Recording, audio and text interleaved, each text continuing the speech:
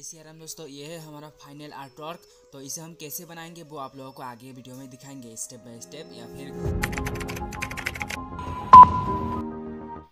तो इसे बनाने के लिए लगभग 30 घंटे से ज़्यादा टाइम लग गया। तो इसे मैं एक बोट लूँगा, जो ए थ्री साइज़ से थोड़ा ज़्यादा होगा।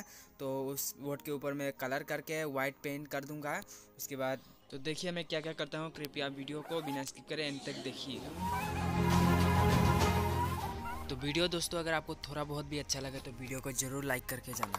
तो बोर्ड के ऊपर आपको आउटलाइन बना लेना है। आउटलाइन बनाने के बाद आउटलाइन के ऊपर आपको इस तरह से जो है किल ठोकना है।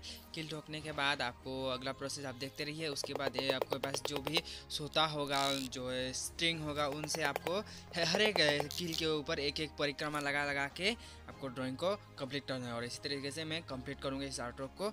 तो सूता से कील के चारों तरफ़ परिक्रमा लगाने से पहले आपको एक सुई होना चाहिए जो ढाई इंच का होना चाहिए और उसके बाद इसे सूते से आपको इस तरह से दो पीस लगा के और इस तरह से जब मैं कर रहा हूँ, जो एक एक परिक्रमा, हर एक स्ट्रिंग का, हर एक कील का परिक्रमा लगाइए और आपको ड्राइंग इस तरह से आपको कंप्लीट करना है। और इस तरीके से मैं करूँगा कंप्लीट तो आप लोग देखते रहिए कुछ कुछ पार्ट आप लोगों को स्किप दिखेगी। तो आप लोग देखिए और इतना तो आइडिया तो आपको होगा ही, कैसे बनाया मैंने।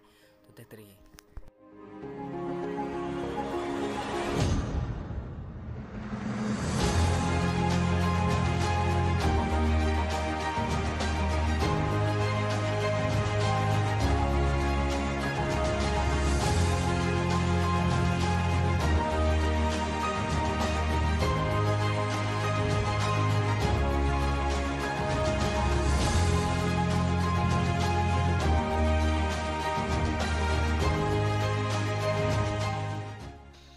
आर्ट वर्क को हमने ड्रॉ करके कंप्लीट कर दिया। और आप इसका रिव्यू देखिए और रिव्यू देखने के बाद आपको ये ड्राइंग कैसा लगे, आप लोग मुझे कमेंट में ज़रूर बताना। आपका राय जो भी हो अच्छा लगे, बुरा लगे, जो भी, ये कमेंट में बताना।